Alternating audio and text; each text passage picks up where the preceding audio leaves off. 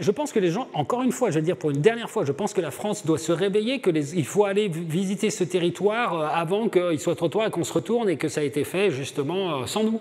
Surtout qu'il y a les talents, il y a les infrastructures, il y a tout ce qui. Oui, exactement. enfin, je veux dire que Ubisoft, des, sociétés comme ça qui, qui euh, les, Français sont très forts en éducation, effets spéciaux et, et, gaming.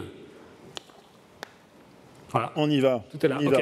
Merci beaucoup. Ok, merci alors.